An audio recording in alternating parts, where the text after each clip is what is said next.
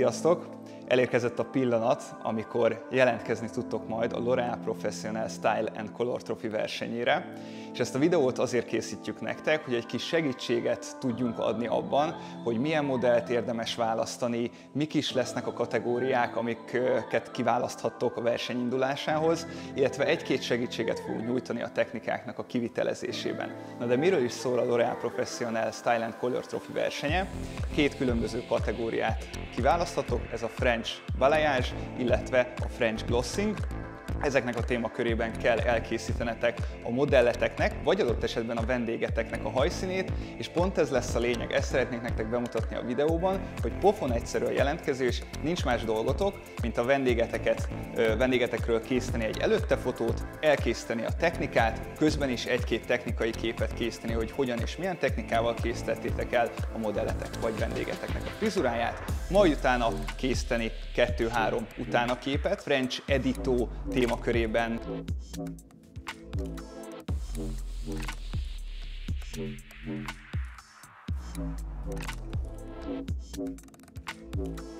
Ugye többféle variáció közül is választhattok. Mivel ez a French balayage témaköre azért az nagyon sok technikát foglal magába, ezért lehet szabadkész technikát alkalmazni. Használhattok ecsettel festést, használhattok kézzel festést, alkalmazhattok szabad levegős technikát, vagy adott esetben sweet mesh folpakkot, illetve fóliával is csomagolhatjátok az alkalmazott melír technikátokat, melír tincseket. Én most ebben az esetben a fólia mellett döntöttem, illetve egy szőt tupír technikát alkalmaztam, de itt a tupír technika mellett ténylegesen lehet felszínikenést is használnotok, illetve majd, hogy nem mindent, ami egy balájás témakörében belefér. Egyedül egy dolog esik ki ebből, az az AirTouch technika. Azon kívül bármilyen más, mondhatni French balayage technikát alkalmazhatok. Hogyan is készítem én el ezt a technikát? Most egy visszintes leválasztáshoz érkeztem modellem Zoe-nak a hajának elkészítése közben. A technikámat úgy valósítom meg, hogy a visszintes leválasztáson fejbőrön egy cikcak leválasztást mondhatni leszövök. Meg is tudjátok nézni. Kaptam egy cikcak leválasztást. Majd a fennmaradó részt a tincs végeinél tartva a haj felső egyharmadától tupírozom fel a lehető legkevesebb mozdulattal. Ez egy mozdulat volt, és itt még a végén rásegítek. De itt már csak tényleg itt a tőrészénél. Majd én egy hosszú lapátot alkalmazok, amire ráhajtom a fóliámat, ezzel könnyítve az anyagomnak az eloszlatását, hogy mindenhova el tudja jutni a tincs teljes területére. Ahogy láthattátok, mondhatni, hogy valamelyest egy ilyen speckó tupírozó fésű, ezzel nagyon könnyedén fel lehet a tupír technikát ö, tolni, vagy fel lehet alkalmazni lehet a technikához. Viszont a tisztázáshoz már egy másik stílfésűt használok, mivel ez egy jóval keskenyebb felülete van, mint hogyha megnézitek ezzel szemben. És ahhoz, hogy a tőrészhez oda tudjuk majd illeszteni, az a legjobb, hogyha egy egész vékony vastagságú, vékonyságú, vastagságú stílfésűvel dolgozunk. A tincsemet ráhelyezem a lapátra, amin a fólia már rajta van, és utána a vékony stílfésű segítségével nagyon finom mozdulatokkal itt a tőrésznél a tupírt úgymond kitisztázom, és behelyezem a fólia mögé a stílfésűt. Majd utána jön az anyag felhordás. Először egy nagyobb mennyiséget, tényleg egy masszívabb mennyiséget, följuttatok körülbelül egy ilyen 10 centi alatti területre. Itt fölviszem az anyagot, majd utána, amikor ezzel följuttattam, így már hozzá tudom, hozzá tapasztottam mondhatni a tincsemet a fóliához, és utána ellenkező irányú ecset mozdulatokkal elkészítem úgymond a lágy átmenetet. Azért, mert tupír technikát alkalmazunk, az nem jelenti azt, hogy nem kell itt fent a lágy átmenetet ellágyítani. Mivel persze lágyítani fog nekünk maga ez a tupír, és szép egybefüggő, és mondhatni szép átolvasztott színhatása lesz, viszont nagyon fontos, hogy ne legyen elvágólagosan kenve itt a tupiromnak, tupirom alatti terület. Majd kiveszem ezt a stílfésűt, ami ott volt a tőrésznél, arra már nincs szükségem, és innentől szépen telítem a tincset. Nagyon fontos, hogy azért az ecset hegyével juttassuk el a haj tincsemnek minden részére az anyagot, és a szőkítésnek az egyik legfontosabb, hogy mondjam, tulajdonság, vagy legfontosabb kelléke, az pedig az anyag, illetve az anyag mennyiség. Én most Zoe hajánál a Platinum Plus pasztát alkalmazom, 6%-os oxidanttal, egy a másfeles keverési arányban. Mivel bőven elég nekem egy 7 színmélységet felvilágosító szőkítő, a Zoe-nak a haja egy Natur 6-os 7-es színmélység között van, és nem célom nekem a drasztikus felvilágosítás, illetve mivel hogy Natura haja, ezért pláne bőven elegendő nekem egy 7 színmélységet, 7 színmélység felvilágosítására képes szőkítővel dolgozni. Láthatjátok, a kulcs az az, hogy jó alaposan legyen a tincsem átkenve, és az anyagmennyiség is megfelelő legyen.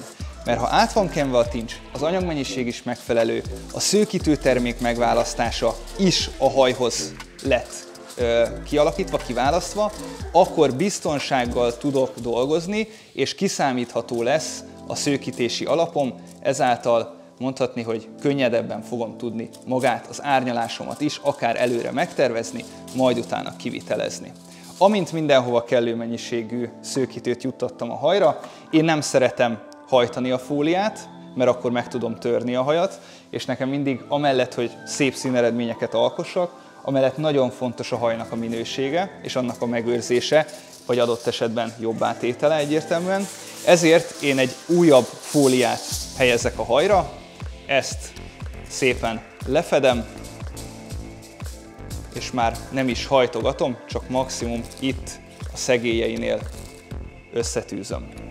Ez maga a technikám, és ne felejtsétek, hogy ugye kell egy közben fotót készítenetek. Nincs más dolgotok, mint előkapni a zsebetekből a telefont, és magáról, a technikáról készíteni egy-két képet.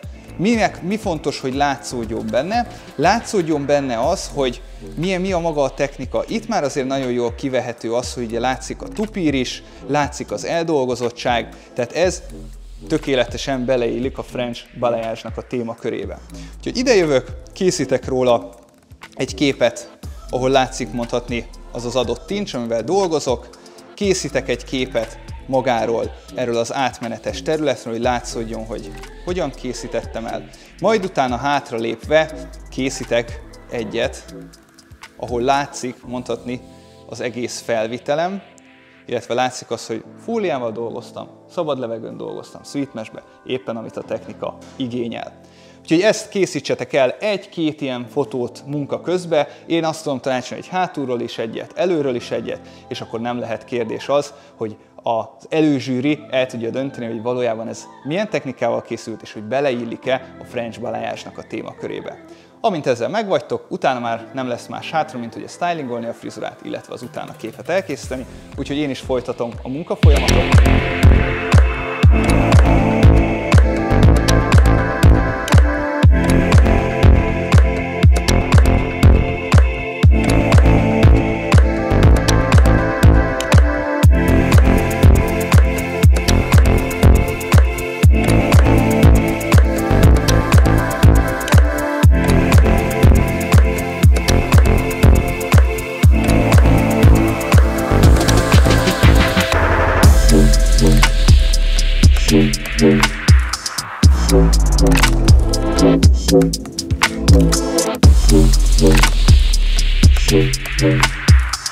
Thank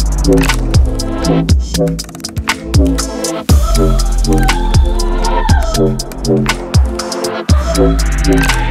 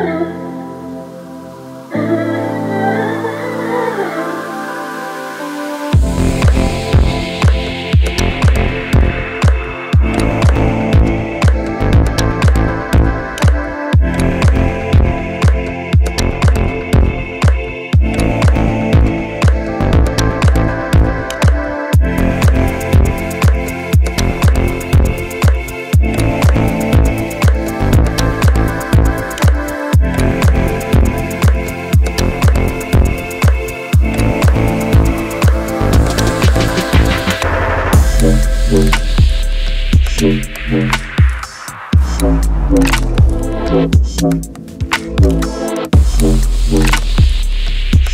you.